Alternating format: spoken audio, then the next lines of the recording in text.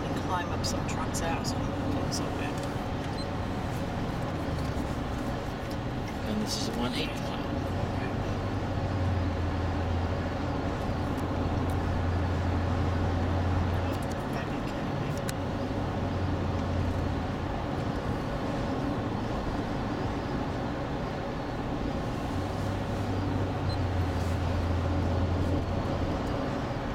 And that's at 120th mile. My God. Why would you pull this right? And Mrs. Dr. Freud is in Nation. No. You stay there. You are not going anywhere. What? Okay. I'm about to have a meltdown. Stay there. You better seriously get out of my way. And this is approaching the Missouri River.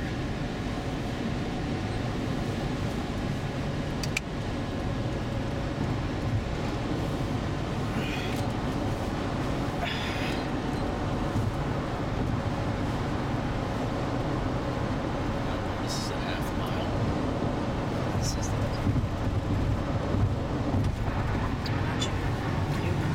And here's the actual river.